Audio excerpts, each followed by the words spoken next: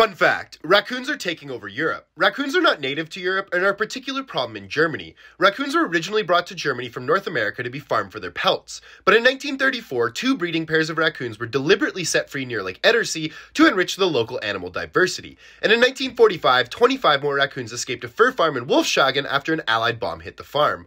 Almost a century later, you can easily see their populations in those areas on a map, and the raccoons have expanded rapidly across Europe.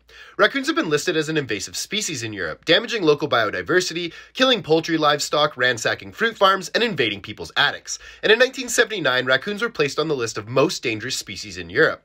In the early 2010s, many efforts were made to capture and exterminate the pests, with over 67,700 caught and exterminated in Germany in 2011. But raccoons are very adept at keeping their numbers high, and will adjust their breeding patterns to make up for the numbers lost by controlled culling. And so, the raccoon continues its march across Europe.